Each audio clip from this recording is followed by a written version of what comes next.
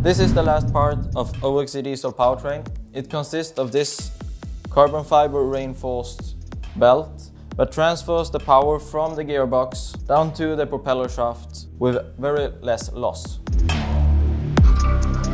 We're using standard spline for Mercury propellers to have a wide range of propellers available for us. We have a slender underwater housing for increased hydrodynamic properties. This reduces friction in the water and increases range and efficiency. Our system does not have any weak bevel gears or dog clutches.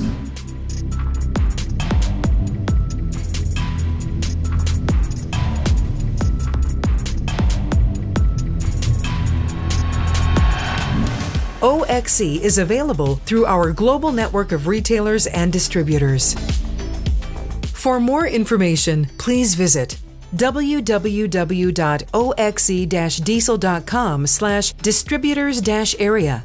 For technical support, technical support at oxe-diesel.com. And for sales, sales at oxe-diesel.com.